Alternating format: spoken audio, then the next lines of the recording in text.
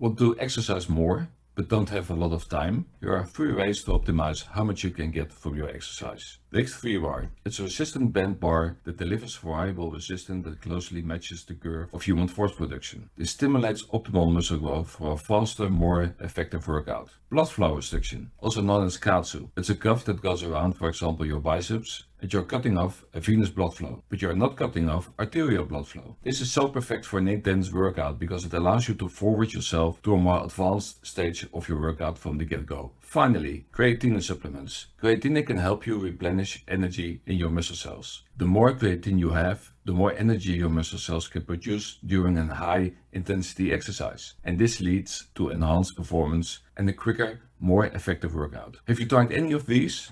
Let us know in the comments.